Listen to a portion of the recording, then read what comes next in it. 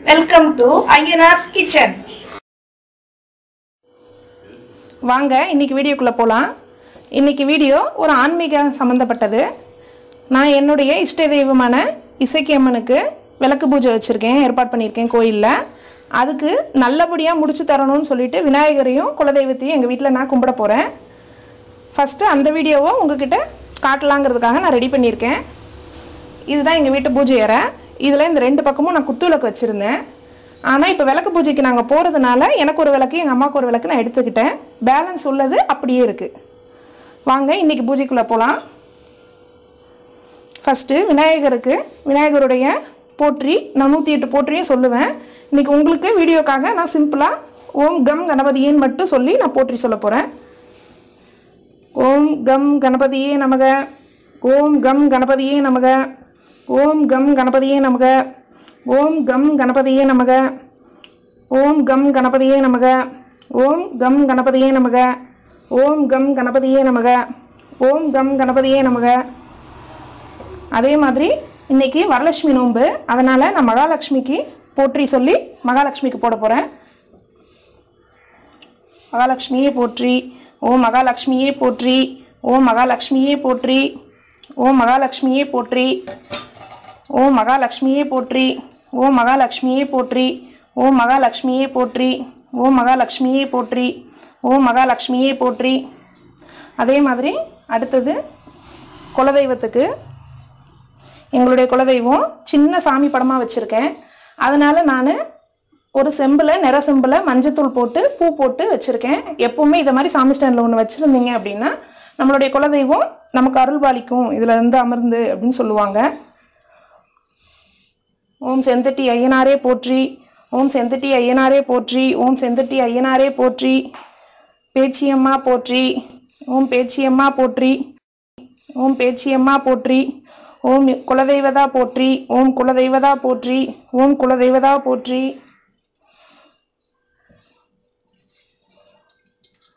அதே மாதிரி எல்லா தெய்வத்துக்கும் சேர்த்து இங்கே வெத்தலை பாக்கு எடுத்து வச்சு படிச்சுக்கலாம்.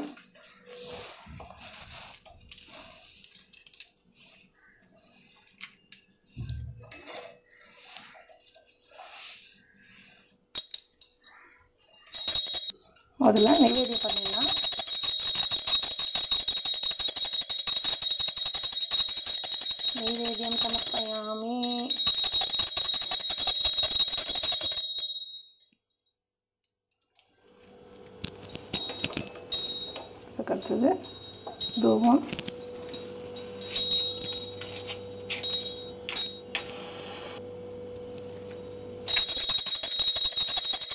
சூப்பராக இருக்குது தீபம்.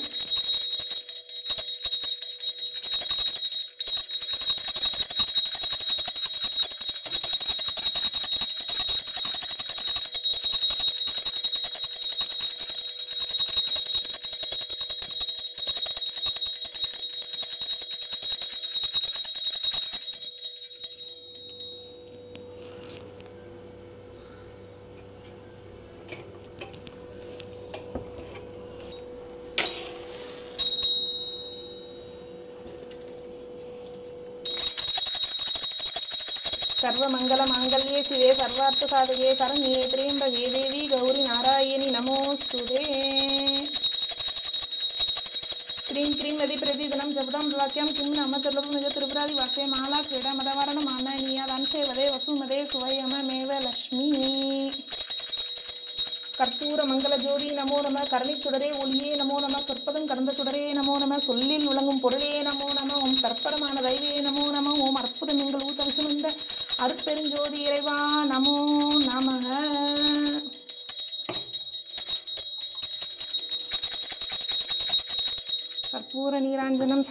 சமர்ப்பயாமி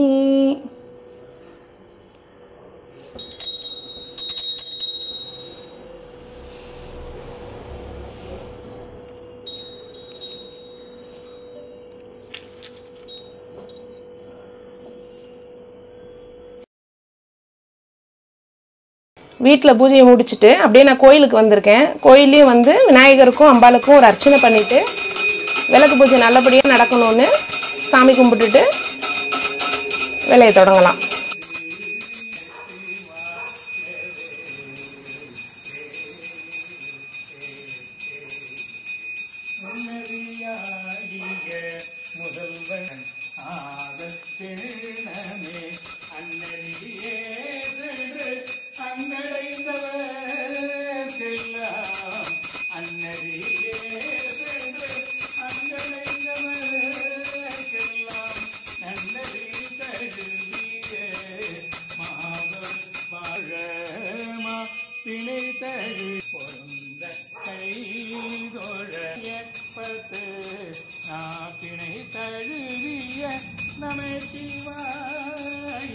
நமச்சிவாய பத்து எசவல்லார் தமக்கு இடுக்கழி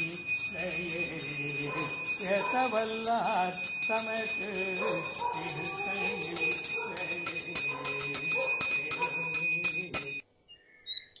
அதே மாதிரி விளக்கு பூஜைக்குள்ள மொத்த பொருளும் வாங்கி வச்சுருக்கேன். இப்போ நானும் என் ஃப்ரெண்ட்ஸுங்களும் சேர்ந்து எல்லாத்தையுமே பேக் பண்ண போகிறோம் நூறு விளக்கு பூஜைக்கு தேவையான அளவு நான் எல்லாமே வாங்கி வச்சுருக்கேன். எல்லாமே நாங்கள் கவரில் பேக் பண்ணி தான் அப்படியே தூக்கி கொடுப்போம். ஒவ்வொரு விளக்கு பூஜைக்கு வர்றவங்களுக்கும் எல்லா பொருளுமே கோயில்ல நாங்களே மொத்தமாக கொடுத்துருவோம். அவங்க விளக்கும் விளக்குக்குள்ள பித்தளை சாமான்கள் மட்டும் எடுத்துகிட்டு வந்தால் போதும். பாருங்கள் நான் எப்படி எப்படி பேக் பண்ணணுங்கிறதுக்கு சாம்பிள் மூணு பேக்கெட் பேக் பண்ணி வச்சுருக்கேன். ஃப்ரெண்ட்ஸ் எல்லாருக்கும் அதை காமிச்சிட்டோம்னா அவங்க பேக் பண்ண ஈஸியாக இருக்குமேனு இங்கே பாருங்கள் நூறு பாக்ஸு குங்குமம் விளக்குக்கு கீழே வைக்கிறதுக்கு அம்பாலை பிரதிஷ்டை பண்ணுறதுக்கு அரிசி சங்கல்பம் பண்ணுறதுக்கு அக்ஷதை கல்கண்டு குங்குமம் எல்லாமே பேக் பண்ணிட்டோம். இந்த கவரில் வந்து அம்பாளுக்கு சமர்ப்பிக்கிறதுக்கு மஞ்சள் சரடு மஞ்சள் கிழங்கு அதே மாதிரி சாம்பிராணி பொட்டு வைக்கிறதுக்கு சந்தனம் திரி பன்னெண்டு திரி வச்சுருக்கோம். அஞ்சு விளக்குக்கு ஐ ரெண்டா பத்து. அதே மாதிரி அகல் விளக்கு துணை விளக்குக்கு ரெண்டுன்னு வச்சு ரெண்டு பீஸ் கற்பூரம். அதே மாதிரி முந்நூறு போற்றி விநாயகருக்கு நூறு போற்றி திருவிளக்குக்கு நூறு போற்றி எசக்கியம்மனுக்கு நூறு போற்றி முந்நூறு போற்றி படிக்கிறதுக்கு தேவையான அளவு குங்குமம் பாக்ஸில் போட்டு பேக் பண்ணி வச்சுருக்கோம். இது எல்லாத்தையும் ஒரே பெரிய கவரில் போட்டு வச்சுருவோம். அப்போ தான் அம்பாளுக்கு உள்ள தேங்காய் பழம் வெத்தலை பாக்கு விநாயகருக்கு உள்ள வெத்தலை பாக்கு பழம் அருகம்புல் எல்லாமே நாங்கள் அன்னைக்கு ஃப்ரெஷ்ஷாக உள்ள பொருளெல்லாம் வாங்கி இப்போ ஈவினிங் பேக் பண்ணிகிட்ருக்கோம் இருக்கோம். போட்டு இதுலேயே பேக் பண்ணி கொடுத்துருவோம். அப்படியே ஒருத்தவங்கக்கிட்ட ஒரு கவர் கொடுத்தோம் அப்படின்னா நமக்கு கரெக்டாக இருக்கும்.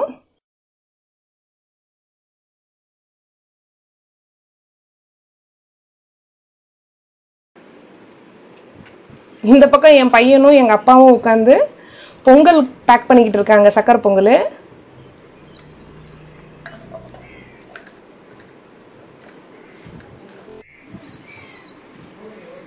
அவ்வளோதான் வீட்டில் பேக் பண்ணுற பொருள் எல்லாமே நாங்கள் பேக் பண்ணிட்டோம். இனிமேல் கிளம்ப வேண்டியது தான் கிளம்பி நேராக கோயிலுக்கு போய் எல்லாம் செய்யணும். இதை எல்லாத்தையும் கொண்டு போய் வச்சுட்டு வந்துட்டான் பையன். சமையலுக்குள்ள காய்கறிகள்லாம் கட் பண்ணிகிட்டு இருக்கோம் ஏன்னா அன்னதானமும் நம்ம தான் கொடுக்குறோம். ஃபஸ்ட்டு வந்து அம்பாளுக்குள்ள பொங்கலெல்லாம் செஞ்சு பேக் பண்ணோம். ஏன்னா அது கொஞ்சம் ஆறுனா தானே பேக் பண்ண முடியும் அதனால். இப்போ பிரசாதத்துக்குள்ளது ரெடி பண்ணிகிட்ருக்கோம் நானும் என் ஃப்ரெண்ட்ஸு எங்கள் அம்மா எல்லாம் சேர்ந்து. எல்லாமே கட் பண்ணி ரெடி பண்ணிட்டோம்.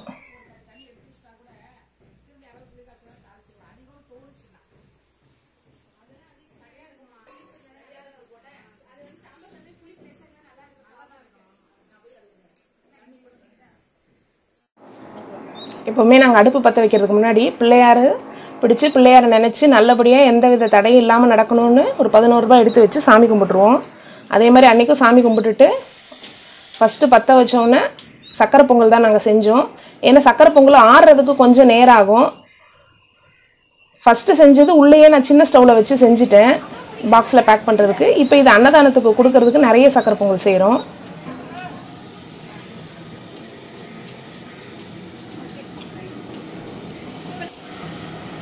இந்த வீடியோ பிடிச்சதுன்னா நீங்கள் லைக் பண்ணுங்கள் ஷேர் பண்ணுங்கள் கமெண்ட் பண்ணுங்கள் உங்கள் ஃப்ரெண்ட்ஸுக்கெல்லாம் சொல்லுங்கள் நீங்கள் இந்த சேனலை சப்ஸ்கிரைப் செஞ்சு வச்சுக்கோங்க. ஏன்னா நான் விளக்கு பூஜைக்குள்ள முழு டீட்டெயில்ஸ் விளக்கு பூஜை செய்கிறதுனால என்ன பலனு அதே மாதிரி அதுக்கு என்னென்ன பொருட்கள்லாம் தேவை நீங்கள் எந்த ஸ்டெப்ஸும் மிஸ் பண்ணாமல் எல்லாம் ஃபுல் விளக்கு பூஜையும் நான் இந்த சேனலில் அப்லோட் பண்ணுறேன் நீங்கள் அதை பார்த்து ஈஸியாக தெரிஞ்சுக்கலாம். மெயின் பக்கத்தில் இருக்கிற பெல் ஐக்கானை கிளிக் பண்ணி வச்சுக்கோங்க. என்னுடைய சேனலை சப்ஸ்கிரைப் பண்ணியிருக்கவங்க எல்லாருமே பெல் ஐக்கான் ஆன் பண்ணாமல் வச்சுருக்கீங்க. அதனால் உங்களுக்கு நோட்டிஃபிகேஷன்ஸ் மிஸ் ஆகும். நீங்கள் என்னுடைய சேனல்ஸ் நிறைய வீடியோவை மிஸ் பண்ணிடுவீங்க மிஸ் பண்ணாமல் பார்க்கணுன்னா நீங்கள் பெல் ஐக்கானை கண்டிப்பாக கிளிக் பண்ணி வச்சுக்கோங்க.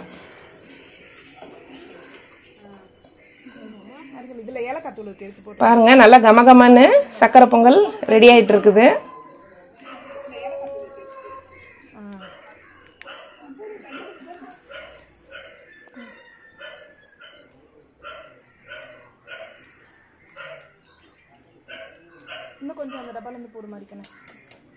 பொங்கல் ரெடி பண்ணிட்டோம். அடுத்து வந்து நம்ம சாம்பார் சாதத்துக்குள்ளதெல்லாம் தயார் பண்ண ஆரம்பிக்க வேண்டியது தான் வாங்க அடுத்த சமையலுக்குள்ளே போகலாம்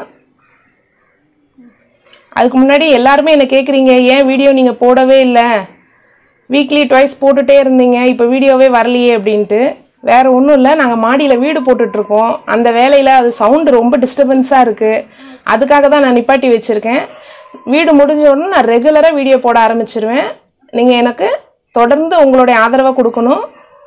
தொடர்ந்து என்னுடைய இதில் எல்லா வீடியோவையும் நீங்கள் பார்த்து அதுக்கு தக்கன நீங்கள் எனக்கு கமெண்ட் பண்ணணும். நான் என்னுடைய மிஸ்டேக்ஸ் என்னென்னு நீங்கள் சொன்னீங்கன்னா நான் திருத்திக்கிட்டு அதே மாதிரி உங்களுக்கு பிடிச்ச மாதிரியான வீடியோக்கள் போடுவேன்.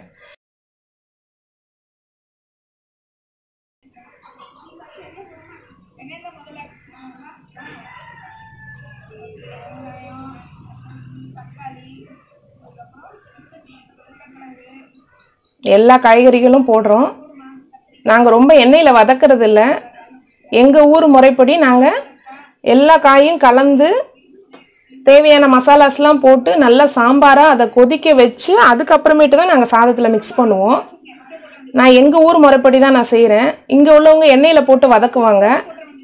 ஆனால் நாங்கள் அப்படி வதக்கிறது இல்லை நான் எல்லா பொருளுமே அளந்து தான் எடுத்து வச்சுருக்கேன். அதனால் அப்படி அப்படியே போட்டுட்டாங்க. நாங்கள் எப்பவும் செய்கிற பாத்திரம் எப்பவுமே செய்கிற அளவு தான் அப்படிங்கிறதுனால எங்களுக்கு கரெக்டாக அதே அளவு எப்பவும் போல் எடுத்து எடுத்து வச்சுட்டு தான் நாங்கள் செஞ்சிடுறது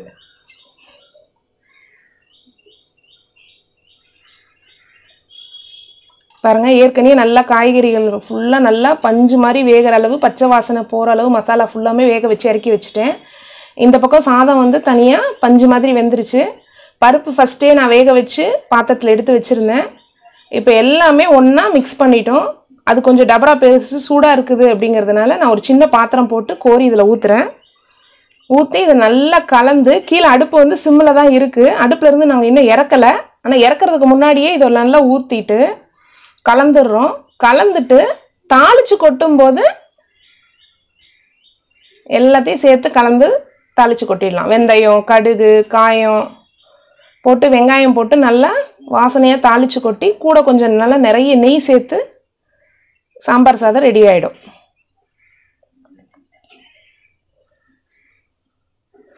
இந்த மீன் டைம் இவங்க கலந்துகிட்டே இருப்பாங்க. நான் கோயிலில் போய் எந்த அளவு வேலை நடந்திருக்குதுன்னு ஒரு ரவுண்டு பார்த்துட்டு வந்துடுறேன். ஏன்னா கோயிலை ஃபுல்லாக பெருக்கி க்ளீன் பண்ணி ரெடி பண்ண சொல்லியிருக்கேன். ஏன்னா அந்த இடத்துலையும் நூறு பேர் உட்காரணும். அது போக பார்க்க வர்ற ஒரு இரநூறு இரநூத்தம்பது பேரும் நிற்கிற அளவுக்கு இடம் வேணும். எந்தெந்த இடத்துல உட்காரணுங்கிறத முதல்ல ஐடியா பண்ணிக்கணும் இல்லையா? அதனால்.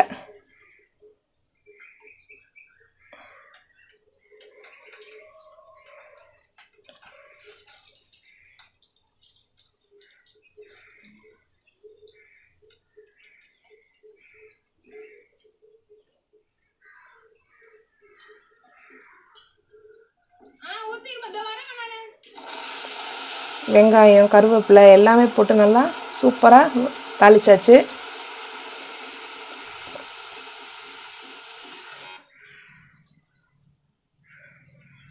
இப்போ சாம்பார் சாதமும் ரெடி ஆகிடுச்சு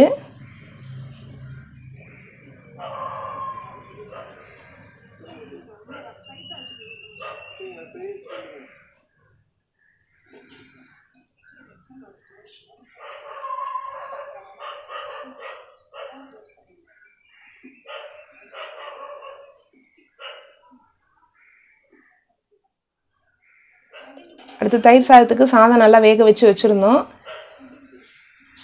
நாங்கள் இங்கே பசும்பால் பாதியும் எருமை மாட்டுப்பால் பால் பாதியுமா கலந்து அவங்க தயிர் காய்ச்சி உர ஊற்றி கொண்டு வந்து கொடுத்துருந்தாங்க. பக்கத்துலேயே ஒருத்தங்க மாடு வச்சுருக்காங்க அவங்க. அதனால் அந்த தயிரை சேர்த்துட்டோம். சேர்த்துட்டு நல்லா சுத்தமான பால் பசும்பால் வாங்கி கொடுத்துருந்தாங்க. அந்த பசும்பாலை காய்ச்சி இதில் நான் கலந்துருக்கேன். எப்போவுமே அப்படி தான் அஞ்சு கிலோ ச அரிசி போட்டிருந்தோம் அப்படின்னா மூணு கிலோ லிட்டர் பால் மூணு லிட்டர் தயிர் அளவுக்கு ஊற்றுவோம் திரும்ப வேணும்னா நம்ம லாஸ்ட்டில் வீட்டிலேருந்து பால் காய்ச்சி ஊற்றிடுவோம் ஆனால் இது அதுவே டேஸ்ட் நல்லாயிருக்கும் ஏன்னா பசும்பால் பார்த்தீங்களா பாக்கெட் பாலை விட இது டேஸ்ட் அதிகமாக இருக்கும். நீங்கள் பார்க்கும்போதே உங்களுக்கு தெரியும் வித்தியாசம். இஞ்சி பச்சை மிளகா பெருங்காயத்தூள் கருவேப்பிலை எல்லாமே போட்டு தாளித்து எடுத்துகிட்டு வந்துட்டேன். நல்லா கம கமன்னு தயிர் சாதம் ரெடி ஆகிடுச்சு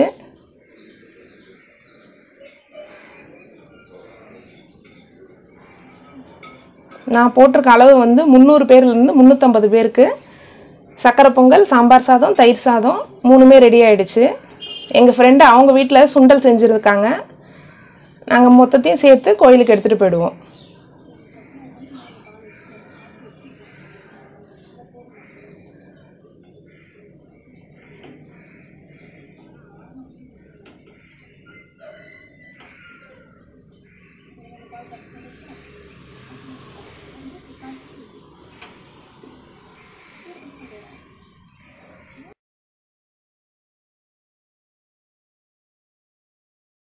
பாருங்கள் சக்கரை பொங்கல் சாம்பார் சாதம் தயிர் சாதம் மூணுமே ரெடி ஆகிடுச்சு இப்போ இது எல்லாத்தையும் நாங்கள் மூடி வச்சுட்டோம். இதை வந்து கோயிலுக்கு எடுத்துகிட்டு போகிறது ஆம்பளைங்களுடைய வேலை. நாங்கள் போய் எல்லாரும் ரெடியாகி கோயிலில் வந்து விளக்கு பூஜையில் பார்ப்போம். இன்னும் குறை உள்ள விளக்கு பூஜைகளை அடுத்த வீடியோவில் அப்லோட் பண்ணுறேன் நீங்கள் சப்ஸ்கிரைப் பண்ணி வச்சுட்டு பாருங்கள் நன்றி.